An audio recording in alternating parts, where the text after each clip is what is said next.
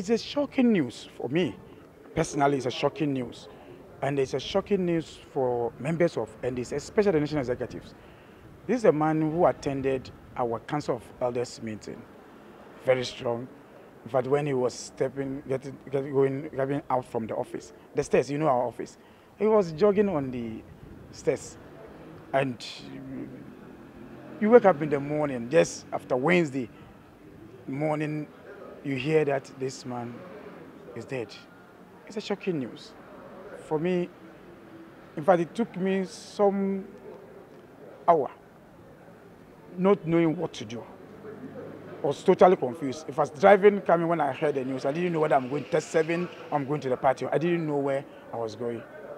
And, and I know it is the same thing that is running through almost everyone in the party and even this country. God knows the best. But nobody goes to Gene if it's not fit. So it's a shocking news. I, I, this is a shocking news.